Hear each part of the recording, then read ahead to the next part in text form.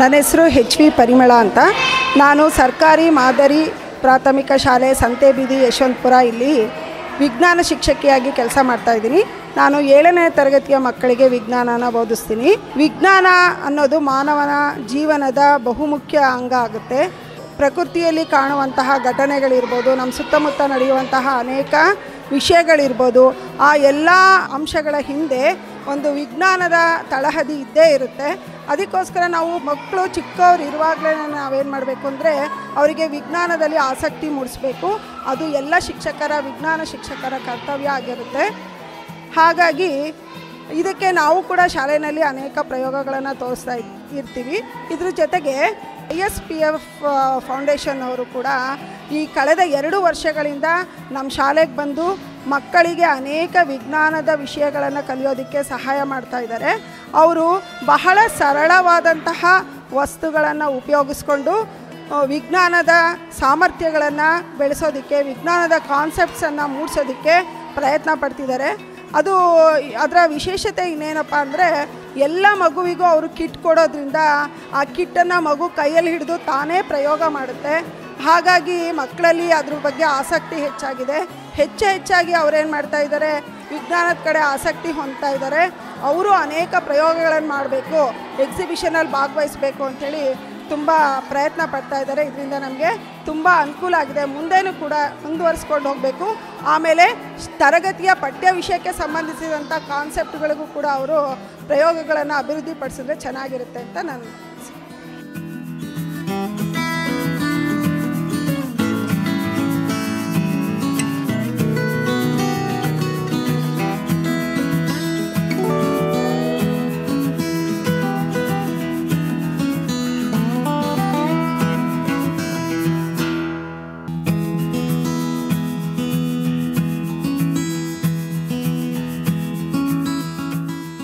ನನ್ನ ಹೆಸರು ಜೋಸಫ್. ನಾನು ಓದುತ್ತಿರುವ ಶಾಲೆ ಹೆಸರು G M P S Santhebeedi Yeshwanthpur.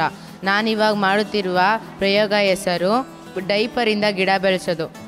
ಡೈಪರನ್ನು ಬೇಗ ಗಿಡ ಬೆಳೆಸಲು ಉಪಯೋಗಿಸಬಹುದು. ಫಸ್ಟು ಮಣ್ಣನ್ನು ಹಾಕಿದ್ದೀನಿ. ಆದಮೇಲೆ ಡೈಪರ್ ಅಂತ ಜೆಲ್ಲು, ಜೆಲ್ ಇದೆಯಲ್ಲ, ಆ ಜೆಲ್ಲನ್ನು ಹಾಕಿದ್ದೀನಿ. ನೋಡಿ ಇಲ್ಲಿ ಜೆಲ್ ಐತೆ. ಈ ಜೆಲ್ನ ಹಾಕಿದ್ದೀನಿ. ಆದಮೇಲೆ ಏನಾದರೂ ಕಾಳುಗಳು, ರಾಗಿ ಆ ಥರ ಎಲ್ಲ ಹಾಕ್ಬಿಟ್ಟು ಆದ್ಮೇಲೆ ತಿರ್ಗಾ ಮಣ್ಣು ಹಾಕಿದ್ರೆ ಆ ಗಿಡವನ್ನು ಎರಡೇ ದಿವಸದಲ್ಲಿ ಬೆಳೆಸ್ಬೋದು. ಅದೇ ಥರ ಬೆಳೆಸಿದ್ದೀನಿ.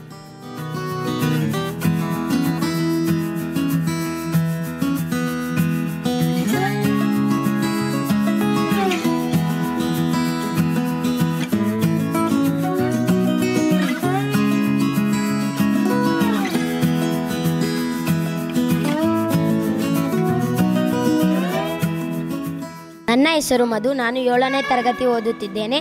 ನನ್ನ ಶಾಲೆ ಹೆಸರು G M P S Santhebeedi Yeshwanthpur. ನನ್ನ ಸಹಪಾಠಿಗಳು ಮೊಹಮ್ಮದ್ ಇಶಾಕ್. ಗಾಲಿಬ್ ಖಾನ್. ನಾನು ಮಾಡುತ್ತಿರುವ ಪ್ರಯೋಗದ ಹೆಸರು ವಿದ್ಯುತ್ ಸರಣಿ ಮಂಡಲ. ಎರಡು ಬ್ಯಾಟ್ರಿ ತಗೊಂಡ್ವಿ. ಎರಡು ಬ್ಯಾಟ್ರಿಗೆ ವೈರ್ ಫಿಟ್ ಮಾಡಿದ್ವಿ. ವೈರ್ ಫಿಟ್ ಆದಮೇಲೆ ಎರಡು ಸೇಫ್ಟಿ ಪಿನ್ ತೊಗೊಂಡ್ವಿ. ಸೇಫ್ಟಿ ಪಿನ್ಗೆ ವೈರ್ ಫಿಟ್ ಮಾಡಿದ್ವಿ. ಫಿಟ್ ಮಾಡಿದ್ಮೇಲೆ ಒಂದು ಬಾಟಲ್ ತಗೊಂಡು ಅರ್ಧ ಕಟ್ ಮಾಡ್ಕೊಂಡ್ವಿ. ಕಟ್ ಮಾಡ್ಕೊಂಡು ಅದರಲ್ಲಿ ಉಪ್ಪಾಕ್ಬಿಟ್ಟು ಬ್ಯಾಟ್ರಿಯಿಂದ ಸೇಫ್ಟಿ ಪಿನ್ ಇಟ್ಟು ವೈರ್ ಕೊಟ್ವಿ. ಆವಾಗ ಅದು ಇದೋಡ್ತಿತ್ತು. ನಾವು ಲೈಟ್ ತಗೊಂಡ್ವಿ. ಲೈಟ್ ತಗೊಂಡು ಇದ್ರೊಳಗಡೆ ಇಡ್ದಾಗ ಲೈಟ್ ಬಂದಿಲ್ಲ. ಅದಕ್ಕೆ ನಾವು ಆಮೇಲೆ ಆಚೆ ತೆಗ್ದು ನೋಡಿದ್ವಿ. ಆಚೆ ತೆಗ್ದು ನೋಡಿದ ತಕ್ಷಣ ಲೈಟ್ ಬಂತು.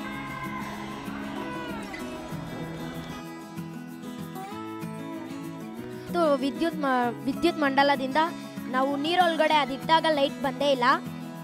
ಆಮೇಲೆ ನಾವು ಆಚೆ ತೆಗ್ದಾಗ ಲೈಟ್ ಬಂತು.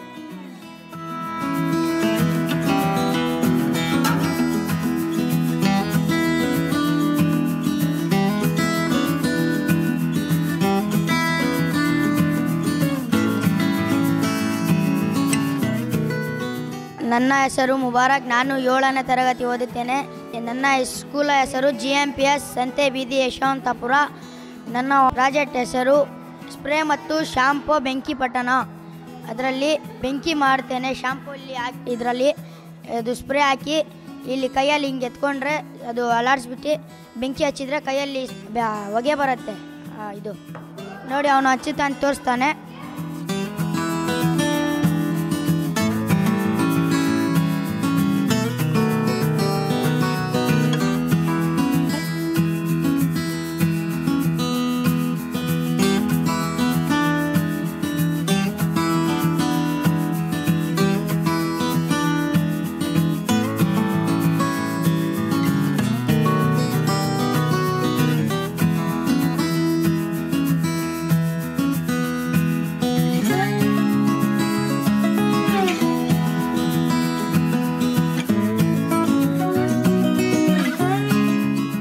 ನಮಸ್ಕಾರ.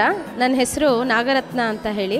ನಾನು ಇಲ್ಲಿ ಸರ್ಕಾರಿ ಮಾದರಿ ಪ್ರಾಥಮಿಕ ಶಾಲೆ ಸಂತೆಬೀದಿ ಯಶವಂತಪುರ, ಉತ್ತರ ವಲಯ ಎರಡು, ಬೆಂಗಳೂರು ಉತ್ತರ ಜಿಲ್ಲೆ. ಇಲ್ಲಿ ನಾನು ಸಹ ಶಿಕ್ಷಕಿಯಾಗಿ ಕರ್ತವ್ಯ ನಿರ್ವಹಿಸ್ತಾ ಇದ್ದೀನಿ. ನಾನು ಸಮಾಜ ವಿಜ್ಞಾನ ಶಿಕ್ಷಕಿಯಾಗಿ ಕರ್ತವ್ಯವನ್ನು ನಿರ್ವಹಿಸ್ತಾ ಇದ್ದೀನಿ.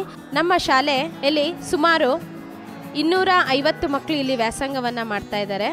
ನಮ್ಮ ಶಾಲೆಯಲ್ಲಿ ಆರನೇ ತರಗತಿಯಿಂದ ಎಂಟನೇ ತರಗತಿಯವರೆಗೂ ಆಂಗ್ಲ ಮಾಧ್ಯಮ ಮತ್ತು ಕನ್ನಡ ಮಾಧ್ಯಮ ತರಗತಿಗಳು ನಡೀತಾ ಇದೆ. ಈ ಐ ಎಸ್ ಪಿ ಸಂಸ್ಥೆಯವರು ನಮ್ಮ ಶಾಲೆಗೆ ಬಂದು ಮೊದಲು ನಾವು ಮಕ್ಕಳಿಗೆ ಪ್ರಯೋಗಗಳನ್ನ ಮಾಡ್ತೀವಿ ಇದರಿಂದ ಮಕ್ಕಳಿಗೆ ಉಪಯೋಗ ಆಗುತ್ತೆ ಅಂತ ಹೇಳಿ ನಮಗೆ ಇಂಟ್ರೊಡ್ಯೂಸ್ ಮಾಡಿಕೊಂಡ್ರು.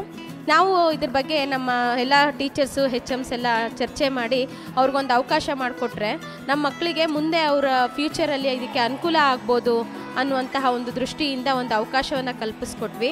ಆ ಅವಕಾಶ, ಸದಾವಕಾಶವನ್ನು ಅವರು ಸಂಪೂರ್ಣವಾಗಿ ಉಪಯೋಗಿಸ್ಕೊಂಡು ಸರಳ ವಸ್ತುಗಳ ಮೂಲಕ ಹೇಗೆ ನಾವು ಪ್ರಯೋಗಗಳನ್ನ ಮಾಡಬಹುದು, ಅದರಲ್ಲಿ ಹೇಗೆ ಮಕ್ಕಳಿಗೆ ಉಪಯೋಗ ಆಗುತ್ತೆ, ಮತ್ತು ದಿನನಿತ್ಯದಲ್ಲಿ ಅನೇಕ ವಸ್ತುಗಳನ್ನ ನಾವು ಉಪಯೋಗಿಸ್ತಾ ಇರ್ತೀವಿ.